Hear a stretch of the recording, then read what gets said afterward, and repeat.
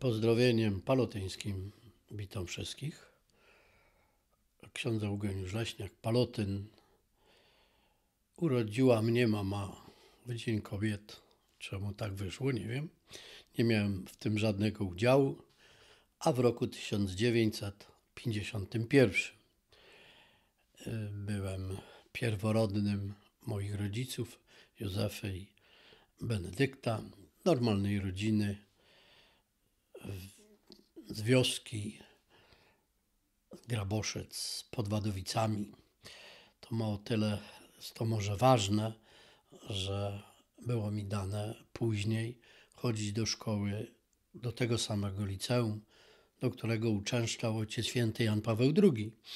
Jak to bywało, kiedyśmy go odwiedzali w Watykanie, to jak przyjeżdżało liceum, nieważne w którym roku, zawsze mówił: Moi koledzy i koleżanki przyjechali do mnie. Czułem się kolegą papieża. Ale z papieżem jeszcze była taka mała historia, że przez 27 lat mm, proboszczem był człowiek, z którym on mieszkał w jednym pokoju jako kleryk.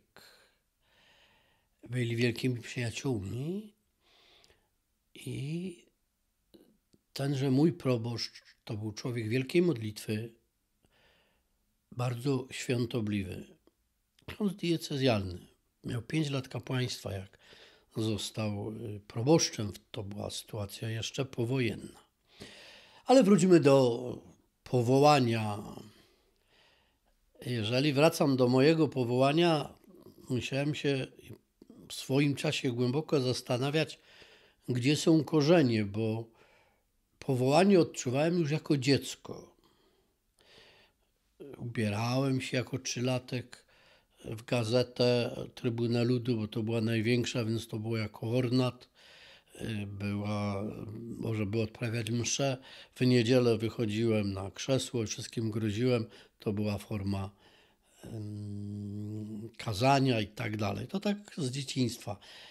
Ale było to coś, co w tym dziecku gdzieś tam rosło. Mnie to interesowało i dopiero chyba jako kleryk kiedyś zebrałem się na odwagę, by zapytać mamy, bo ja czułem, że gdzieś to moje powołanie jest bardzo ściśle związane z mamą.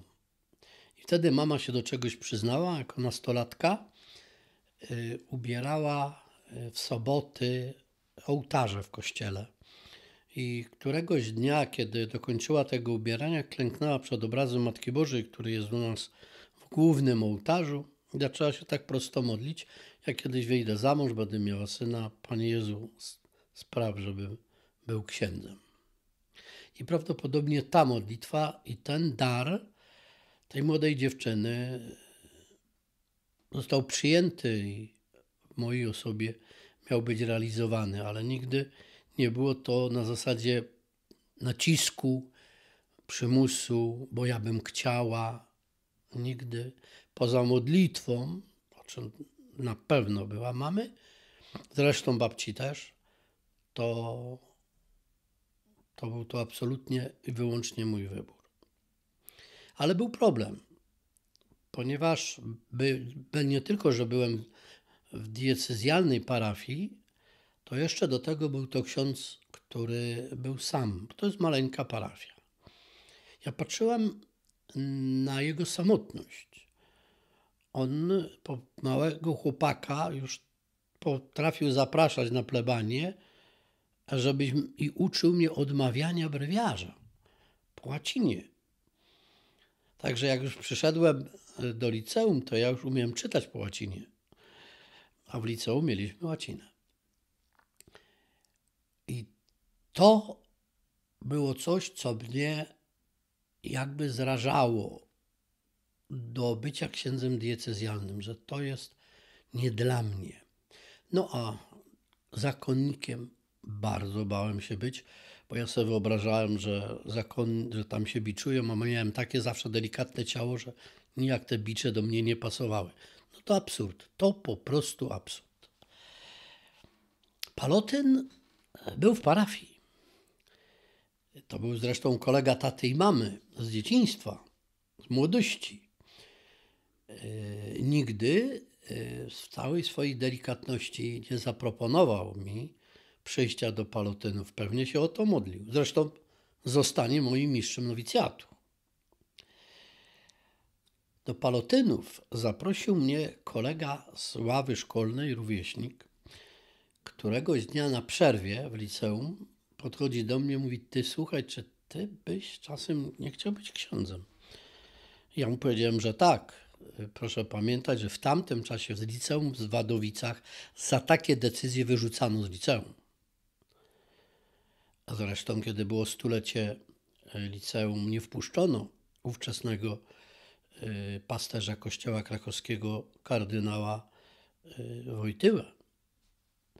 To były takie czasy. Czasem warto o tym wspomnieć, bo my dzisiaj, mając wolność, wydaje nam się, że to takie nic ta komuna była. To, była, to były straszne czasy. No i on mnie zaprowadził na tak zwany kopiec, nasza najstarsza placówka. No i wtedy zobaczyłem, że ksiądz, który ma do nas coś tam przemawiać, jest ubrany dokładnie tak samo, jak ten ksiądz, który przyjeżdża do naszej parafii, czyli jest palotyn. Wtedy odkryłem słowo palotyn, palotyni i jeździłem e, co miesiąc na dni skupienia z tam z roczną przerwą, bo chyba trzeba było pewnego dystansu. Czy to będzie, czy nie będzie. I w 11 klasie e, przestałem jeździć. A pod koniec 10 jakoś tak. No i kiedy zdałem maturę, zanim jeszcze rodzicom powiedziałem, to wziąłem tegoż samego kolegę, Janka, który jest dzisiaj ksiądz Opicki, Jan, misjonarz w Brazylii. Mówię, Janek, ty dobrze piszesz na maszynie, to chodź napiszesz mi podanie. Gdzie? No do palotynów. No to mu latały paluszki po maszynie, że hej. I razem żeśmy poszli do tegoż księdza, skądinąd myślę, że wspaniały paloten, ksiądz Stanisław, który nas przyjął z wielką radością. No i potem już postulat, nowicjat, seminarium. To już była taka no, formacja i tyle. Tak to można powiedzieć. Z kapłaństwa myślę, że takie wrzutki. Pierwsza rzecz to byłem normalnie wikarym, jak wszyscy. Posłano mnie do zespołu szkół, do, o, do Ostrołęki. I z perspektywy czasu Pan Jezus tak człowieka chce pogłaskać, jak coś tam dobrego się udało zrobić. I takie pogłaskanie to dwa wydarzenia, że jeden z uczniów moich został biskupem i ordynariuszem e, w diecezji łomżyńskiej, a drugie wydarzenie, e, klasa zaprosiła mnie na 40-lecie matury. Więc przyjechałem do tej Ostrołęki, spotkaliśmy się i oni wiedzieli, z czego mi zrobią radość. Powiedzieli mi, że nikt z tej klasy się nie rozwiódł. I byłem z tego bardzo dumny. Oni wiedzieli dlaczego. Dla mnie w katechezie były tema, dwa tematy najbardziej ważne. To była wiara, żeby przekazać wiarę w Pana Jezusa, w, wiarę w Boga, bo na tym się buduje a druga rzecz, żeby tych ludzi przygotować e, do założenia rodziny na poważnie, bo bez rodziny nie ma niczego. To jest fundament społeczeństwa i nie będziemy się rozwlekać. Na tle tego okazało się, że też paru chłopaków poszło do seminarium. No to gdzieś przełożeni zauważyli to i kazali mi się zająć powołaniami przez Trwało to prawie 12 lat. No i między innymi musiałem prowadzić postulaty. Był to czas, kiedy należało rozeznać w tym młodym człowieku, który się e, zgłasza, e, czy jest to materiał do tego, żeby go przyjąć do palotynów. Kościół wyznaczał swoje kryteria i ja się tych kryteriów trzymałem, chociaż dziwiłem się, przełożonym, że mi zaufali, takiemu młodemu księdzu po czterech latach kapłaństwa, e, w tak poważnym uczestniczyć w tak poważnych decyzjach, bo na bazie tych opinii byli chłopcy przyjmowani albo nie przyjmowani do stowarzyszenia. Rada Prowincjalna to czyniła. Kryteria były proste: moralność, zdrowie psychiczne i fizyczne, powołanie. To naprawdę jest dar, gdzie ja nie spotkałem ani jednego takiego samego opowiadania o swoim powołaniu, a przyjmowano rocznie między 30 a nawet 50 osób po takim postulacie. I to było moje takie niesamowite zdumienie, jak pod koniec XX wieku, bardzo po imieniu, Pan Jezus mówi: Pójdź za mną. A do tego e, byłem zachwycony jakością tych ludzi, osobowością, talentami. Ja sobie ulubiłem pójść przed Najświętszy Sakrament i dziękować Panu Bogu za takie wielkie dary, a zarazem pytałem Panie Jezu, czego Ty od nas, palotynów, chcesz, że nam takie dary dajesz. No i dzisiaj, po latach, trzech już wicegenerałów, czterech prowincjałów. Jeśli dzisiaj mamy 13 stycznia, to myślę, że pośród tego perełka ksiądz biskup Adrian Galbas to też mój postulant. I to jest kolejny, to są kolejne głaski, jakie Pan Jezus mi dał, jeśli dzisiaj sobie wspominam moje powołanie, mając już prawie 50 lat kapłaństwa, jeszcze nie mam, jeszcze nie mam. No i te 12 lat e, bycie w tym w powołaniówce. Trochę tam zdrowiem przypłaciłem, potem taki okres, gdzie musiałem się trochę podreperować, podział prowincji i wtedy zaproponowałem już w ramach prowincji zwiastowania pańskiego e, założenie biura e, pielgrzymkowego. Uważałem, że to jest jakieś wyzwanie jakaś szansa formacji ludzi na bazie pielgrzymek. Byłem do 2000 roku założycielem. Nie byłem cały czas już dyrektorem, bo potem byli inni, ale pracowałem. No i potem takie było trochę e, takich małych wydarzeń. Zawsze głosiłem rekolekcje, misje.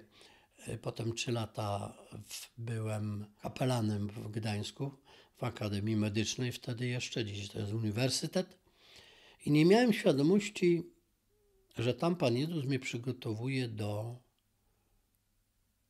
moim zdaniem, ostatniego etapu takiego bardzo czynnego e, bycia palotynem.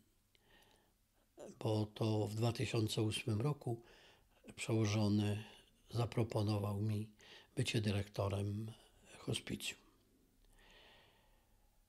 I rzeczywiście wtedy, kiedy objąłem, jeszcze zanim objąłem dyrektorowanie, poprosiłem prowincjała, żeby mi dał trzy miesiące, żeby mógł się przyglądać, jak wygląda to hospicjum i skonfrontować z tym, jak wygląda e, organizacja szpitalna.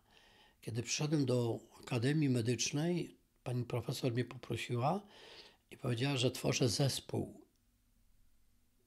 Nad chorym musi się y, pochylać zespół. To jest lekarz, pielęgniarka, psycholog, ksiądz, terapeuta. I to we mnie zostało. I wtedy, kiedy przyszedłem do hospicjum, właśnie przyglądawszy się kadrze, w pierwszej kolejności stworzyłem zespół. I każdy pochylał się nad chorym zgodnie ze swoją kompetencją i potrzebą chorego, czy w tym miejscu jeszcze rodziny. Bo kiedy się żegna człowieka, to również to pożegnanie rodziny nie jest łatwe. Czasem jest bardzo trudne. No a zarazem to był czas, kiedy z różnymi kapelanami, miałem ich kilku, stawaliśmy nad człowiekiem, który przechodził rzeczywistości ziemskiej do rzeczywistości pozaziemskiej i chcieliśmy robić wszystko, żeby wszyscy przeszli do rzeczywistości niebieskiej, a nie szatańskiej. I to też były bardzo ciekawe rzeczy i można by osobny wywiad z tego zrobić. Bo to, bo to przeciekawe miejsce i chciałbym, żeby były wszystkie hospicja szanowane e, i żeby zawsze mogłyby mieć tam zespoły, w którym kapelan będzie najważniejszy. Bo ciało już obumiera. Żeby ten wymiar duchowy człowieka, żeby człowiek w tym wymiarze duchowym przeszedł do wieczności. Żeby przeszedł jako dziecko Boże, a nie niewolnik złego ducha. To jest fundamentalna rzecz, najważniejsza rzecz. Stąd też jakość kapelana jest bardzo ważna. Bo w szpitalu to jest miejsce, gdzie powinien człowiek zdrowieć, ale w hospicjum to jest miejsce, gdzie człowiek się żegna z tym światem. No i po 10 latach ja poprosiłem o przejście już na emeryturę, mówiąc językiem świeckim, no bo u nas jest tylko emerytura niebieska, jak wszyscy wiemy, polotynów, czyli dokąd ksiądz jest zdolny do pracy w miarze duchowym, czyli kapłańskim, to pracuje aż do odejścia z tego świata. No i w tej chwili właśnie jestem takim człowiekiem, to co jest dla mnie takie fajne, to to, że już nie mam, nie odpowiadam za nic. To już tak naprawdę za rączkę przełożeni mnie prowadzą, a zwłaszcza domowy przełożony ksiądz rektor do różnych tam zajęć, potrzeb. A są. Nie, nie, nie leżę na łóżku, nie czekam śmierci, nie patrzę w sufit. Jestem jeszcze aktywny, dokąd mi zdrowie pozwoli. Ale na koniec chciałbym przypomnieć o moim najważniejszym wydarzeniu, tak go mówię, największym, jakie mnie spotkało w kapłaństwie. W 1990 roku e, arcybiskup Częstochowy w ramach przygotowań na przyjazd papieża z młodzieżą świata zaproponował mi odpowiedzialność za tak zwaną młodzież wschodu. Papieżowi bardzo zależało na tym, żeby te, te dwie duchowości się spotkały, wschodnia i zachodnia, właśnie w młodym kościele. No i byłem zdumiony, że właśnie mnie e,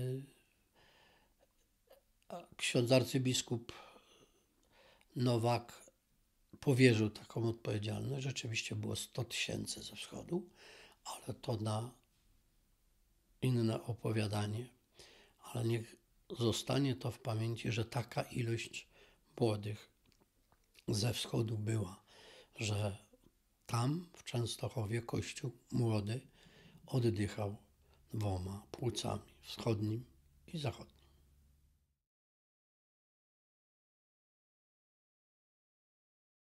Palutti. Powiem szczerze, gdybym przed wstąpieniem do palutynów przeczytał życiorys Palotiego taki yy, arcyduchowy, to chyba bym ze strachu do palotynów nie wstąpił. Palotti. To jest coś, takiego daru to ja nie otrzymałem. Co mnie zachwyciło nie tyle w Palutin, co w Palotynach. Bycie z człowiekiem świeckim. I to też przekazywałem w postulacie i widziałem e, w tych chłopcach, w tych, w tych darach ciekawych osobowości, że oni będą mogli kształtować e, tych świeckich w różnych okolicznościach, w różnych zawodach, w różnych sytuacjach. A to była istotna myśl Palotiego Kościół to są świeccy. To my jesteśmy tylko i wyłącznie na służbie Kościoła. Kościół jest Chrystusowy. Każdy, kto jest ochrzczony, jest Kościołem i jest odpowiedzialny za budowanie tego Kościoła. A my jesteśmy tylko pokornymi sługami na rzecz tego Kościoła. I w takim wymiarze yy, koncentrowałem się w moim życiu i w takim wymiarze przeżywałem duchowość Parotiego, a wielokrotnie było mi dane klęknąć sobie u jego grobu w Rzymie, to zawsze go o to prosiłem, żebym umiał być ze świeckimi i być dla świeckich i uwrażliwiać moich współbraci również na to, że, że, że jesteśmy dla Kościoła. Stąd zawsze mówiłem, zwłaszcza młodym, którzy przychodzili, palotynów ci roboty nie zabraknie, niezależnie od tego, w którą stronę będziemy szli, jakie będziemy przeżywali jako Kościół trudności czy wzloty, e, to zawsze się palotyni muszą odnaleźć, tylko czasem się musimy zatrzymać, pomyśleć, przemodlić, w jaki sposób mamy formować właśnie świeckich. Formacja świeckich to nie może być puste zdanie. Mistyka nie. Nie dla mnie.